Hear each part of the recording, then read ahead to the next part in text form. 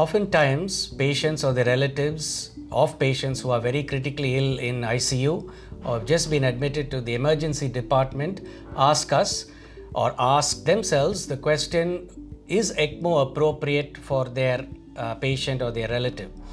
Uh, in order to understand the usefulness of ECMO, you have to consider the reason why one does ECMO. ECMO is nothing but the support of heart and lungs in an artificial manner until the original organ recovers or it buys us time to do a transplant or to make a decision if the diagnosis of the patient is not known.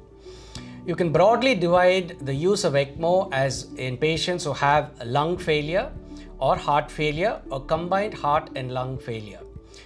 If a patient is unable to be ventilated and their oxygen level is dropping or the carbon dioxide level is building up, all of the organs in the body will begin to fail. Here, ECMO will be very vital in supporting all other organs as well as reducing the pressure uh, that the ventilator is delivering into the lungs. This high pressure by the ventilator in the lungs has been associated with an increased death rate in patients, and ECMO helps reduce this.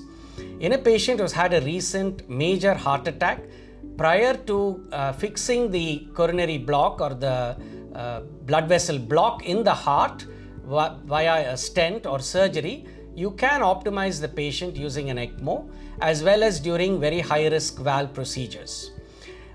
Another indication for ECMO is the use of ECMO as a bridge to transplantation where the organs may not be immediately available.